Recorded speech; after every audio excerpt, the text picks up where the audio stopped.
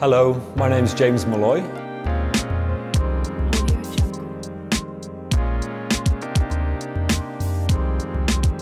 One of the quickest ways to brighten your complexion is by using blush. It's one of my favourite products. Dainty Mineralised Blush, which gives a very beautiful peachy pink effect with a natural highlight. To apply the blush, I'm using the MAC 187 brush. This duo fibre brush gives a very soft airbrush effect. So swirling the tip of the brush in the, in the product, place the brush on the centre of your cheek and work in a circular motion is not to apply too much pressure. You want the blush to feel like a real healthy. It's nice to build in layers, so very gently build up the blush until you start to see that healthy natural glow coming through. To make for the most natural blush, I like to add a little bit on the tip of the nose